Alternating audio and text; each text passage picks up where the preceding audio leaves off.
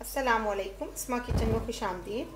आज हम आपको, जैसा कि मेरे टेबल पे आज देख रहे हैं, आप करेले रखे हुए कटे हुए, और चने की दाल उबली हुई है, टमाटर भी हैं, प्याज भी है, मैं आपको इसका तरीका आज बताने लगी हूँ, चने की दाल और करेले मिक्स करके बनाने का। करेले मैंने काट लिए हुए लंबाई की, उस पर ये देखें किस तरह करेले काटे हैं। इसको मैं नमक थोड़ा सा लगा के और इसको एक टोकरी में डाल दूँगी और इसको अच्छे तरीके से धो लूँगी और इसका पानी सारा निकाल दूँगी। और एक पाव के करीब मैंने चने की दाल ली है और आधा किलो के करीब करीले लिए हैं।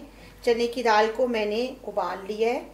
इस तरह का उबाला है मैंने कि चने की दाल ना ज़्यादा नरम हो और ना ज़्यादा सख्त हो। बिल्कुल ऐसी हो कि बिल्कुल गली हुई दाल हो।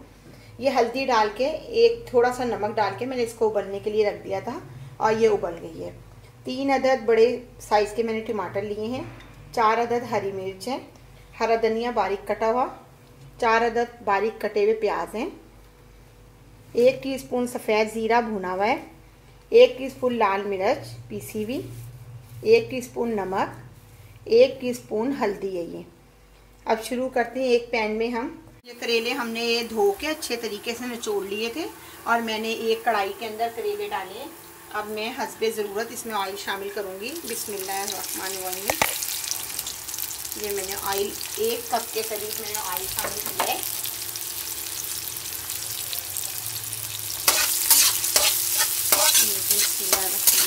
करेले हमारे अच्छे तरीके से मैंने इसको धोया था और धो के इसको नचोड़ लिया था। इसके जो बीज हैं, वो मैंने नहीं निकाले। इसके बिल्कुल बीज ऐसे थे, पके हुए बीज नहीं थे, दूसरे थे तो इस तरह से मैंने नहीं निकाले।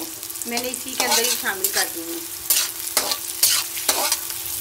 करेले हमारे जब फ्राई हो जाएँगे, फिर हम इसके अंदर प्याज शामिल करेंगे। ये हमारे करेले फ्राई हो गए हैं, अब हम इसमें प्याज शामिल करेंगे, हमने काट के रखा था। अब जब प्याज भी हमारा फ्राई हो जाएगा, फिर हम इसमें टमाटर और दाल शामिल करेंगे। दाल में सबसे एंड में शामिल करूँगी, जब तक मेरे करेले पक जाएँगे। एंड में मैं दाल डाल के इसको दम में दूँगी। अभी मेरे प्याज भी हो जाएगा फ्राई, फिर मैं इसमें टमाटर शामिल करती हूँ। ये प्याज हमारा फ्राई हो गया हुआ है। ये देखिए अच्छे तरीके से करेले और प्याज हमारा बिल्कुल फ्राई हो गया है लाइट ब्राउन हुआ। अब हम इसके अंदर टमाटर शामिल कर रहे हैं। बिस्मिल्लाह ये टमाटर मैंने शामिल किए और ये जो मैंने मसाले मैंने रखे हुए थे, ये प्लेट में डालेंगे। वो भी मैंने सारे मिक्स कर दिए लाल मिर्च पाउडर, नमक, ज़ीरा, हल्दी, ये मैंने सब मिक्स कर दिया इसको हम थोड़ी देर के लिए दम पे रखूँगी ताकि टमाटरों का पानी खुश्क हो जाए और करेले हमारे अच्छे तरीके से हो जाएँ। बाद में हम इसमें दाल शामिल करेंगे।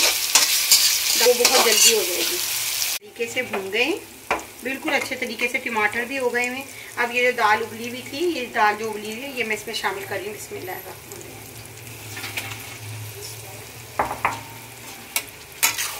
बिस्मिल्लाह ये बहुत ही टेस्टी होते हैं। आप लोग ज़रूर बनाएँ। और मेरी रेसिपी बनाई हुई ट्राई करें, ज़रूर बनाएँ।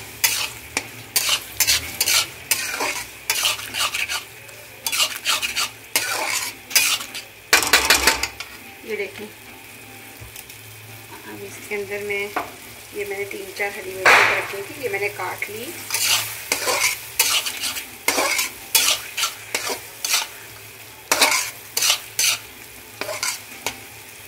बहुत ही टेस्टी बनते हैं और बहुत ही मज़ेदार होते हैं। करेले वैसे भी नए आए हुए और इसमें चने की दाल के साथ और कीमे में भी अच्छे लगते हैं। चने की दाल का अलग टेस्ट आता है, इसको ज़रूर ट्राई करें।